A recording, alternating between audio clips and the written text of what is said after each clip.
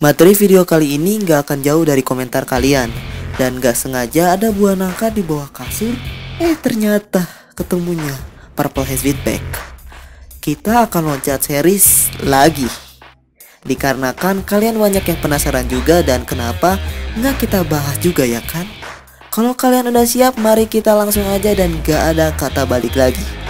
Oke? Kalian tahu nggak sih kalau ngomongin Fugo itu keingetannya pemain bola kalau kalian hidup lebih lama di tahun 80-an pasti tahu deh. Yap, bener. Panakota Fugo. Salah satu karakter part 5 yang mempunyai stand yang sangat amat berbahaya juga mengerikan. Bisa dibilang hampir setara dengan King Crimson. Karena kekuatan Purple Haze itu sendiri adalah virus. Ada hal yang saya ingin jelaskan terlebih dahulu sebelum saya masuk ke topik utama, yaitu mengenai itu sendiri. Kalian pasti bertanya-tanya, warna Canon Fugo yang benar itu sendiri merah dengan rambut putih atau hijau dengan warna rambut blonde? Pasti kan? Kalian akan bingung, seenggaknya. Araki itu sendiri sudah menjawab pertanyaan ini.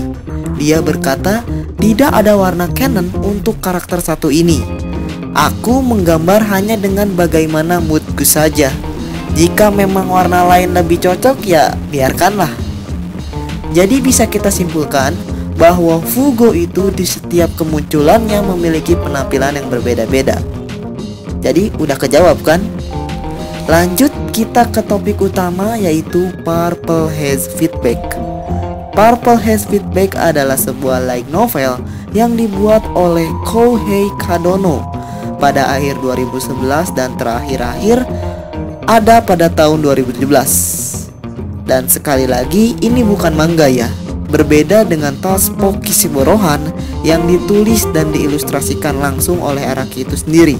Light novel ini bercerita tentang hidup Fugo setelah Vento, Aurero, atau Golden Wind ini berakhir. Bagaimana Giorno jadi kepala gangster misterius dan kemunculan kembali Fugo. Kita akan memulai spoiler kecilnya aja ya.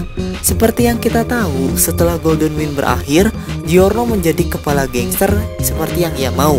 Dan ia lebih memilih dikenal sebagai seseorang misterius yang mempunyai kekuatan besar seperti Diavolo tanpa diketahui oleh banyak orang dan di sini dia menugaskan Mista untuk bertemu seseorang yang di mana seseorangnya itu adalah dua orang. Yang pertama adalah Sheila E dan yang kedua adalah Maboy Fugo. Tujuan Mista ke situ adalah untuk menanyakan apakah mereka mau kembali ke Passion dan mendapatkan kepercayaan Giorno apa hanya akan menjadi pengkhianat. Dan di situ Fugo bilang dia ingin kembali karena dari awal yaitu adalah Passion dan yang menyelamatkannya itu sendiri adalah Bu Charity yang berasal dari Passionate. Setelah itu, Mista memerintahkan mereka berdua dengan tambahan satu kru lagi yang bernama Kano Lombrolo untuk melawan tim narkotik yang berisikan Vittorio Cataldi, Volpe, Vladimir Kocaki, dan juga Angelica. Di sini, Giorno gak akan turun ke lapangan. Dia hanya akan menjadi karakter lewat dan di sini spotlight memang berada pada Fugo. Dan banyak juga sebenarnya kontra di light novel ini karena tidak sesuai dengan animenya. Contoh, yang harusnya merekrut Abakio itu bukan melainkan Fugo itu sendiri, tapi di animenya berbeda dan itu tuh hasil dari rombakan.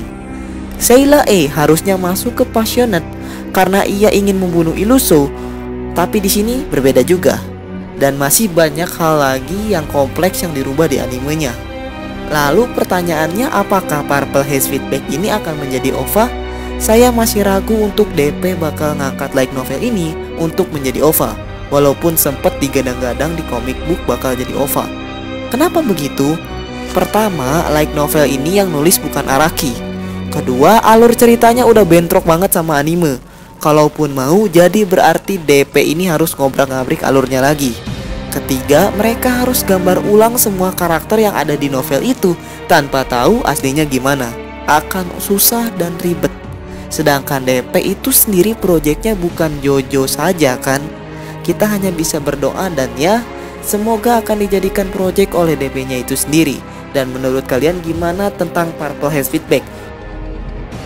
Kalau kalian penasaran ingin membaca Purple Haze Feedback ini di mana kalian bisa search di Google aja. Karena di sini tuh nggak ada Indonesianya jadi hanya ada Inggrisnya. Kalian baca dan itu tuh bener-bener panjang beberapa chapter sih. Kalian bisa baca aja dan ini tuh bukan manga sekali lagi ini novel jadi yang kalian akan baca itu bener jadi kalian akan bosen tapi ya kembali lagi itu gimana kalian Mohon maaf jika saya ngomong pasiennya itu passionate atau passion karena ya saya juga nggak tahu pronounce yang lebih baiknya mana. Jadi kalian yang lebih tahu dari saya. Jadi kalau saya salah ini saya kalian bisa koreksi dan terima kasih udah nonton sampai terakhir. Bye bye.